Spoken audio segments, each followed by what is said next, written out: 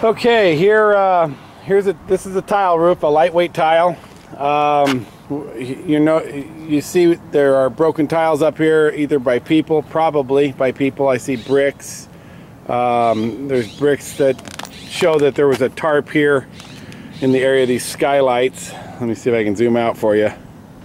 And we've got skylights here, uh, tarped off with uh, with bricks.